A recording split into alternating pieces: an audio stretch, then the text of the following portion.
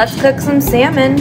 I've cleaned my salmon and cut it into little steaks. I've lined a small baking dish with foil to make a pouch. Next, we're gonna top each piece with a square butter. We're gonna season the salmon with some Slap Ya Mama, a little bit of Kinder's Rub, the seafood blend. Hit it with some lemon pepper. Cut half of your lemon into rings and then use the other half and squeeze the juice over. Now take the two loose ends of foil and make a packet. You don't want it super tight because you want some of that steam to release out of the sides. Place it into the oven at 400 degrees for about 25 minutes. Just pulled the salmon out of the oven. Let's open it up. Beautiful.